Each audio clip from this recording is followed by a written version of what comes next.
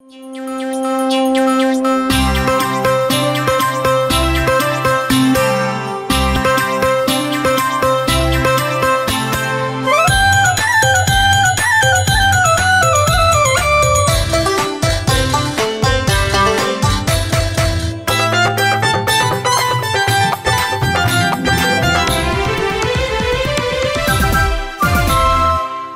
Nepali radio नेटवर्कको राति आठ बजेको नेपाली खबरमा खबर सहयात्री दीपक जोशीको नमस्कार।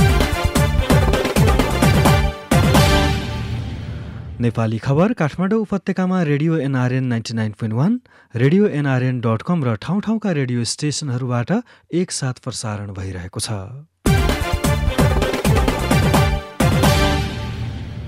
दोस्रो पटक काङ्ग्रेस नेतृत्व हत्याउन देउवाको तयारी तीव्र निधिलाई सहमतिमा ल्याएर मात्रै अघि बढ्न निकट नेताहरूको सुझाव पौडेल समूहका नेता भन्छन् देउबा चुक्नुभयो शेरबहादुर देउवा सभापति पक्षको अर्को महत्वपूर्ण भूमिकामा उहाँलाई चाहिँ व्यवस्थापन गर्ने विषयमा सभापतिज्यूले नि कुरा गर्नु पर्यो शेरबहादुरजीलाई पनि पाको राजनेताका रूपमा ठान्न गाह्रो भयो।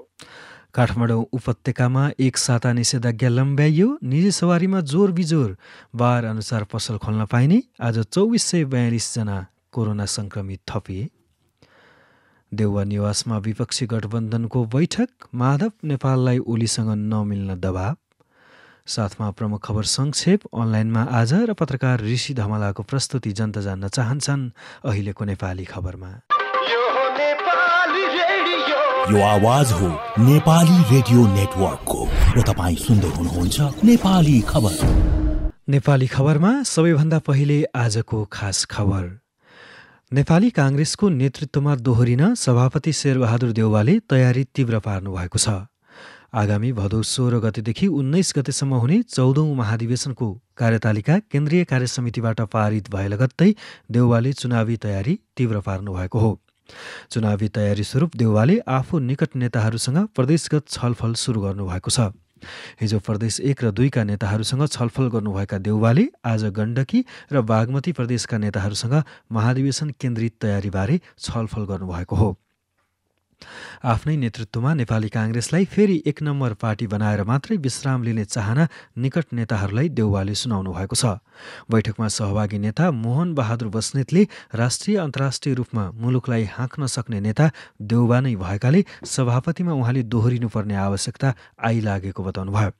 वर्तमान परिस्थितिमा देउबा नै सभापतिको उम्मेद्वार उपयुक्त हुने बैठकमा सहभागी सबै केन्द्रीय सदस्यहरूको तर्क रहेको उहाँले जानकारी दिनुभयो। अहिलेको राष्ट्रिय अन्तर्राष्ट्रिय परिस्थितिलाई हेर्दै नेपाली काङ्ग्रेसलाई सङ्गठित गर्ने एकीकृत गर्ने नेपाली काङ्ग्रेसको मात्रै नेतृत्व नभइकन देशमा संविधान धारात्मा परेको बेला विभिन्न पार्टीहरूको बिचमा आन्तरिक कलहरले राजनीतिक अस्थिरता बढेको बेला सबै किसिमका लफडाहरू देशमा भित्रिएको बेलामा चाहिँ यो संविधानको रक्षाका लागि मुलुकलाई सङ्गठित रूपले चाहिँ अब राष्ट्रिय अस्तित्व जगाउनका लागि र सबै पार्टीहरूलाई चाहिँ एकत्रित गरेर मुलुकका प्रति गोलबद्ध बनाउनलाई चाहिँ एउटा टावरिङ पर्सनालिटी पनि चाहिन्छ कम्प्रोमाइजिङ एउटा पर्सनालिटी पनि चाहिन्छ। त्यो भनेको शेरबहादुर देउबाई हो।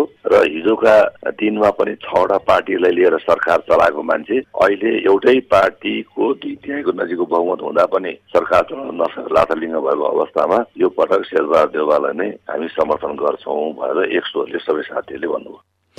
कम्युनिस्ट पार्टी मिलेका बेला भएको अघिल्लो निर्वाचनमा काङ्ग्रेसले बेहोरेको लज्जास्पद हारका कारण पार्टीभित्र असफल सभापति भनेर देउवाको आलोचना हुने गरेको छ। हिजो मिलेका कम्युनिस्ट पार्टीहरू अहिले विभाजन भएकाले अब हुने निर्वाचनमा काङ्ग्रेसलाई पहिलो पार्टी बनाउन सहज हुने बुझाइ देउवाको छ।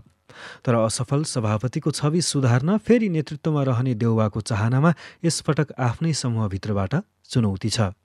उपसभापति विमलेन्द्र निधिले पनि सभापतिमा लड्ने तयारी गरेपछि देउवालाई अप्ठ्यारो परेको हो। निकट नेताहरूले निधिलाई सहमतिमा ल्याउन नसके सभापतिका लागि हुने चुनावमा धक्का पुग्न सक्ने सुझाव देउवालाई दिएका छन्। नेता बस्नेतले आफूपछिको महत्त्वपूर्ण जिम्मेवारीमा रहने गरी निधिसँग सहमति गर्न सभापति देउवालाई सुझाव दिएको बताउनुभयो। शेरबहादुर सभापति पक्षको अर्को महत्वपूर्ण भूमिकामा उहाँलाई चाहिँ व्यवस्थापन गर्ने विषयमा सभापतिज्यूले नि कुरा गर्नु पर्यो हामीहरू पनि ले नि कुरा गर्नुपर्छ केन्द्रीय सदस्यहरूले पनि। एक आपसमा एकताबद्ध भएर अगाडि बढ्नु पर्दछ र अहिले एकचोटि यो अन्तिम पटक चाहिँ शेरबहादुर देउवालाई ज्यूलाई नै समर्थन गर्ने र विवेकानन्द दाईलाई चाहिँ अर्को महत्वपूर्ण भूमिकामा चाहिँ व्यवस्थापन गर्नुपर्छ। जुन कुरा चाहिँ सभापतिज्यू लगायत हामी केन्द्रीय सदस्यहरूले पनि आफ्ना कुरा राख्नुपर्छ भन्ने खालको कुरा उठ्यो। सभापति शेरबहादुर देउवाले नेतृत्वमा दोहोरिने भन्दै निकट नेताहरूसँग छलफल तीव्र पारेका बेला काङ्ग्रेसको संस्थापन इतर समूहले भने देखिने गरी महाधिवेशन केन्द्रित गतिविधि सुरु गरेको छैन। बरु देउवाले सभापतिमा लड्ने भनेर गरेको उद्घोषलाई काङ्ग्रेसको पौडेल समूहका नेताहरूले हतारको घोषणा भनेका छन्। काङ्ग्रेस पौडेल समूहका एक प्रभावशाली नेता तथा पूर्व मन्त्री बलबहादुर केसीले आसन्न महाधिवेशनमा पुनः सभापति लड्ने भनेर देउवाले गरेको उद्घोषलाई हतारको घोषणाको संज्ञा दिनुभयो। नेपाली काङ्ग्रेसलाई सिङ्गो काङ्ग्रेस बनाउने भन्दा पनि सभापतिका तर्फबाट आफ्नो टिमलाई मात्रै बोलाएर भइरहेका भेलाले पार्टीको सङ्कट नटार्ने उहाँको बुझाइ छ। देउबा पार्टीलाई एक ढिक्का बनाउनबाट चुकेको आरोप पनि उहाँले लगाउनुभयो। अहिलेको परिस्थितिमा सबैलाई राखेर नेताहरूलाई राखेर अब कसरी नेपाली काङ्ग्रेसलाई चाहिँ प्रभावकारी रूपमा लिएर जानुपर्ने अहिलेको आवश्यकतामा टुङ्गोमा पुग्नुपर्ने उहाँ हतारिनु भयो उहाँको त्यसैले नेपाली काङ्ग्रेसलाई सिङ्गो काङ्ग्रेस बनाउने भन्दा पनि आफ्नो टिमलाई मात्रै बोलाएर जुन किसिमको भेला गर्नुभयो त्यो ठिक गर्नु भएन भन्ने सोच हो मेरो। अहिलेको राष्ट्रिय राजनीतिमा जुन देखिएको सङ्कट देखिएको छ त्यसलाई नेपाली काङ्ग्रेसले नेतृत्व रेस्क्यु गर्नुपर्छ। त्यसलाई यो सङ्कटबाट बाहिर गर्ने काम चाहिँ नेपाली काङ्ग्रेसले गर्नुपर्नेमा अहिले केही आफ्ना गुटका मान्छे लिएर उहाँले जो के अरे आफ्नो इच्छा जाहेर गर्नुभयो त्यो काङ्ग्रेसको सभापतिको नाताले र स्वयं शेरबहादुरजीलाई पनि पाको राजनेताका रूपमा ठान्न गाह्रो भयो।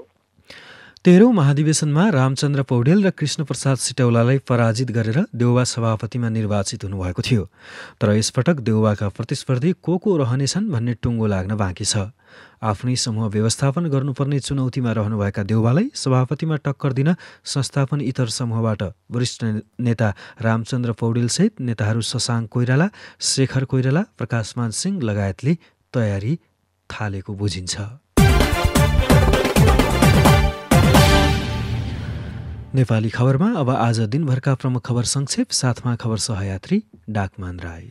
काठमाडौँ उपत्यकामा जारी निषेधाज्ञा एक साता थपिएको छ। थपिएको निषेधाज्ञा अवधिमा निजी सवारी साधन जोर बिजोर प्रणालीमा चलाउन पाइनेछ भने बार अनुसार पसल सञ्चालन गर्न पाइनेछ। काठमाडौँ भक्तपुर र ललितपुर जिल्लाका प्रमुख जिल्ला अधिकारीको आज बसेको बैठकले असार एघार गतिसम्म निषेधाज्ञा थप्ने निर्णय गरेको हो। तर यसपटक निजी सवारी साधन पनि जोर बिजोर नम्बर प्लेटको आधारमा चल्न दिने निर्णय गरेको काठमाडौँका प्रमुख जिल्ला अधिकारी काली प्रसाद पराजुलीले जानकारी दिनुभयो। असार सात गतेदेखि निषेधाज्ञाको समयमा ट्याक्सी पनि जोर बेजोर प्रणालीमा चल्न पाउनेछन् तर अरू सार्वजनिक सवारी साधन भने चलाउन पाइने छैन। सरकार विरुद्ध सर्वोच्च अदालतमा मुद्दा लडिरहेको विपक्षी गठबन्धनको बैठक कङ्ग्रेस सभापति शेरबहादुर देउवाको निवास बुढा नीलकण्ठमा बसेको छ। सर्वोच्च अदालतमा असार नौदेखि प्रतिनिधि सभा विघटन विरुद्धको मुद्दामा सुनवाई सुरु हुन लागेका बेला विपक्षी गठबन्धनको थप रणनीति बनाउन कङ्ग्रेस माओवादी केन्द्र जसपाको उपेन्द्र यादव समूह र एमालेको माधव नेपाल समूहका नेताहरू छलफलमा जुटेका हुन्।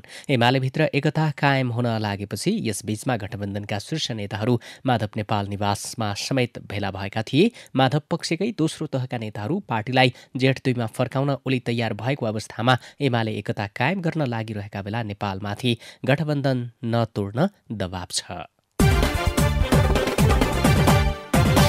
सुदूरपश्चिम प्रदेश सरकार विरुद्धको रेटमा सर्वोच्चले अन्तरिम आदेश दिन अस्वीकार गरेको छ। सुदूरपश्चिम प्रदेश सरकारका मन्त्रीहरूको संख्या प्रदेशसभाको बीस प्रतिशतभन्दा बढी हुँदा संविधानको विरुद्धमा भएको भन्दै कमल सिंह राणा सहितले रेट निवेदन दायर गरेका थिए। रेटको सुनवाई गर्दै न्यायाधीशहरू दीप कुमार कार्की दीपक कुमार कार्की र कुमार रेग्मीको संयुक्त इजलासले अन्तरिम आदेश दिनु नपर्ने आदेश गरेको हो। यसैबीच विपक्षी गठबन्धनको लुम्बिनी प्रदेश सरकार विपक्षी गठबन्धनले लुम्बिनी प्रदेश सरकार वैध कि अवैध भनेर पहिला छुट्याइनुपर्ने माग गरेका छन्। त्यसपछि मात्रै प्रदेश सरकारले ल्याएको बजेट पास गर्नतिर सोच्न सकिने विपक्षी गठबन्धनको अडान छ। आज प्रदेशसभामा विशेष समय माग गर्दै बोलेर कङ्ग्रेस सांसद वीरेन्द्र कनौडियाले पहिला सरकार वैध हो कि अवैध हो भन्ने छिनोफानो हुनुपर्ने बताउनुभयो। विपक्षी गठबन्धनले मुख्यमन्त्री शङ्कर पोखरेलको नियुक्तिको वैधानिकतामाथि निरन्तर प्रश्न उठाउँदै आएका छन्। उता सुदूरपश्चिम प्रदेशसभाको आजको बैठक स्थगित भएको छ। प्रदेश सरकारले बजेट एवं योजना तर्जुमाको रातो किताब वितरणमा ढिलाइ गर्दा प्रदेशसभाको बैठक स्थगित भएको हो। देशभर पछिल्लो चौबिस घण्टामा थप दुई हजार चार सय बयालिसजनामा कोरोना संक्रमण पुष्टि भएको छ। स्वास्थ्य तथा जनसङ्ख्या मन्त्रालयका अनुसार यही अवधिमा थप तीन हजार चार सय छप्पन्नजना संक्रमणमुक्त भएका छन्। यस्तै थप एकाउन्न जनाको कोरोनाका कारण मृत्यु भएको मन्त्रालयले जनाएको छ। यसैबीच सर्वोच्च अदालतले अग्रपङ्क्तिमा काम गर्ने पत्रकारलाई तत्काल कोरोना खोप व्यवस्था गर्न अन्तरिम आदेश जारी गरेको छ। आज न्यायाधीश कुमार चुडालको एकल इजलासले पत्रकारहरूको पेसागत प्रकृति र परिस्थिति जनसमुदाय वा समूहमा पुग्नुपर्ने वा जनसम्पर्कमा रहनुपर्ने भएकाले पत्रकारको कार्य प्रकृतिको विशेष परिस्थितिलाई समेत ध्यानमा राखी खोपको व्यवस्था गर्न अन्तरिम आदेश जारी गरेको हो।